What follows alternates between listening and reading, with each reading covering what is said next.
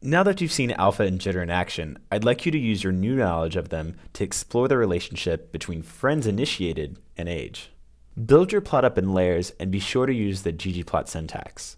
I really recommend playing around with this in RStudio, and then once you've got your finalized plot, copy and paste your code into the browser and submit it. There's no right or wrong answer here, and there's a couple of different ways to make the plot. So just be sure that once you have your final plot, you copy and paste all of your code into the browser and submit. After you've created your plot, share any of your findings in the discussions.